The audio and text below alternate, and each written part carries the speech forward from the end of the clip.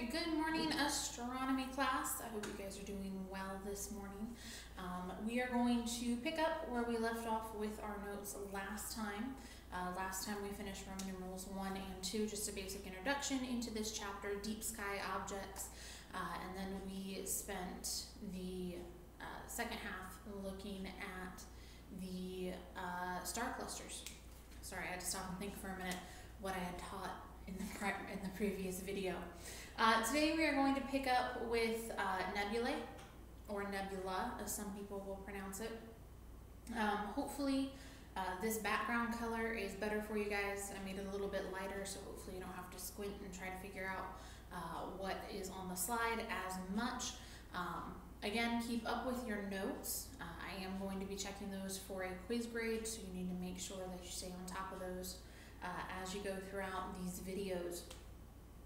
So this video is going to cover all of Roman numeral 3 for this uh, for the class notes.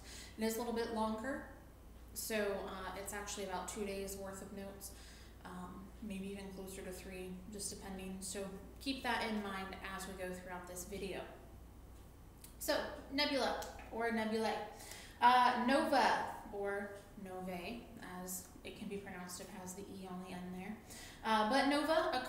When a pair of stars flare up to many times their natural brightness. Now, this flare up doesn't harm the stars. Now, you're dealing with a pair of stars, so you're dealing with two stars that have flared up at this point in time. Uh, they are all formed from closely located binary stars. Okay, we've uh, talked about binary stars when we talked about our uh, last chapter, the whole chapter was about stars. So a nova is formed when two uh, close binary stars flare up. Uh, basically, they're feeding off of each other's energy. Uh, these fade over the period of several weeks or months. Now, a nova is not something that lasts forever. Uh, it flares up for a couple weeks, maybe a couple months, and then the stars go back down to their original energy position. That flare up is gone. Uh, types. You have uh, four types here. Uh, number one, or letter A in your notes, is classical. It's the most common type. These are the ones that do exactly what they're supposed to do according to a textbook. They flare up for a couple months, they fade, and they can flare up again throughout their lifetime. Uh, a helium nova, this is believed to be caused by the explosion of a helium shell on a white dwarf star. So a white dwarf star, actually part of it kind of, a part of it explodes and that explosion creates the nova for a temporary part of time. A recurrent nova, these are objects that have uh, been seen to experience multiple nova eruptions. Uh, this multiple er eruption, it can happen maybe back to back. There are several of these explosions all at once. Uh, sorry, not explosions, eruptions. Novas don't explode. um, there have been several eruptions all at once. And so the uh, basically it's like a chain reaction. One explosion creates another eruption, creates another, creates another eruption, and so on and so forth. Or it can be um, just the stars are on a pattern. They flare up every time at a certain time of the year, and they're flared up for a couple weeks before they tone back down, and they just flare up every year at the same time. And then you have a dwarf nova. These have a lower luminosity than classical nova do. And this is due to a lower temperature. So uh, pretty much, if you remember when we talked about stars, anything that has the name dwarf tacked onto it just means that the temperature isn't as high. Um, and the because the temperature is not as high, it's not as bright.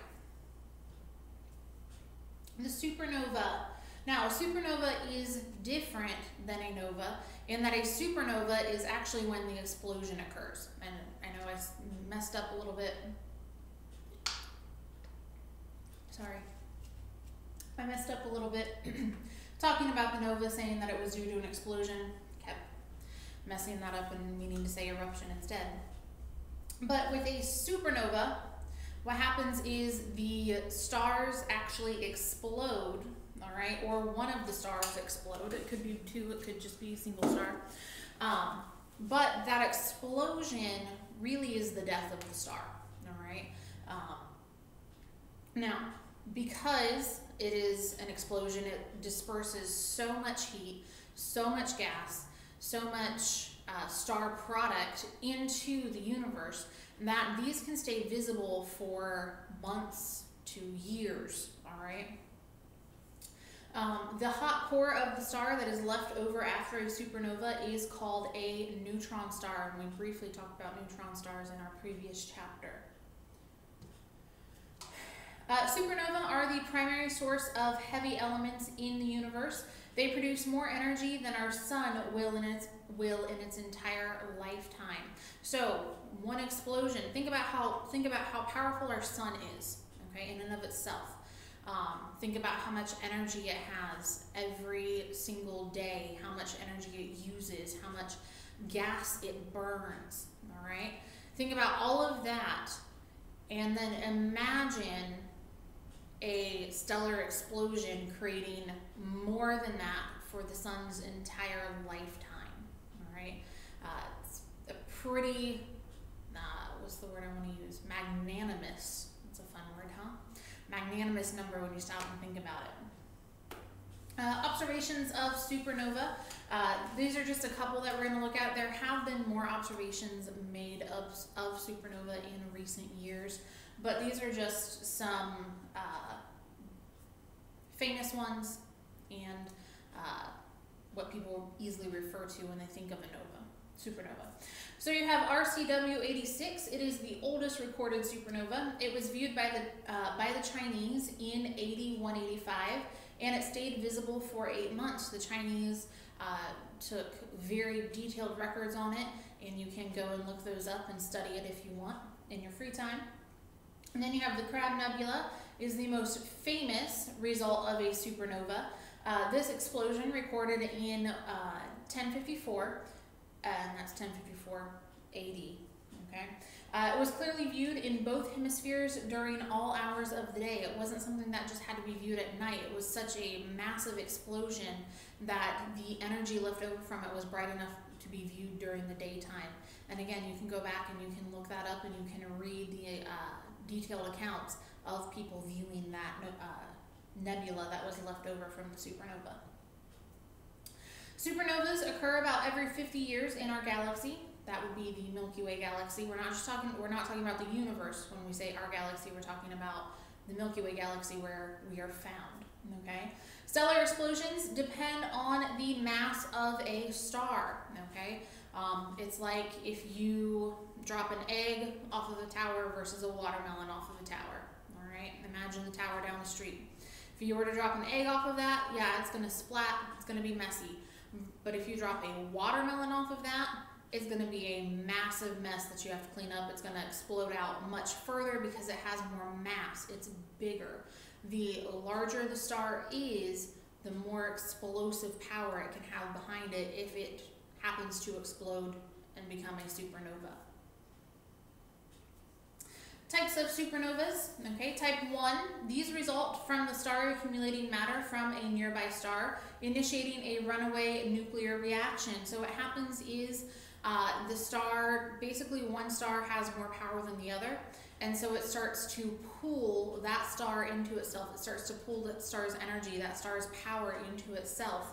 And, no, excuse me, this pulling of power creates a runaway nuclear chain reaction so that the reaction just starts occurring and before you know it you have the explosion of the star.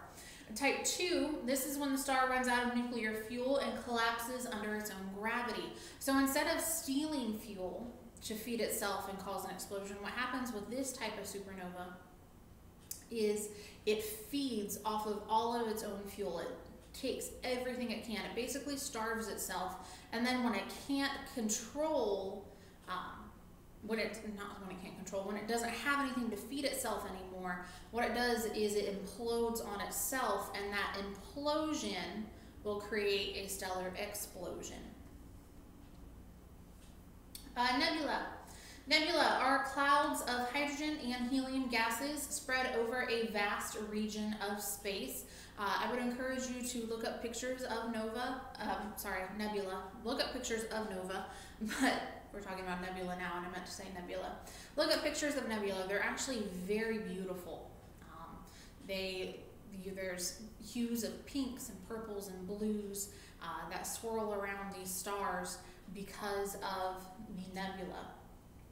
All right, this is the result of a supernova. So when a supernova explodes, right, when a star has exploded and it has spewed all of those hydrogen and helium gases, all forms of hydrogen and helium gases, into the universe, what happens is it creates the nebula.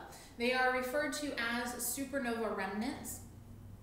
Now, if you're going to uh, have a conversation with somebody about uh, nova and supernova and nebula, uh, you probably wouldn't use the term supernova remnants when talking about nebula, but that's really what nebula are. They are supernova remnants.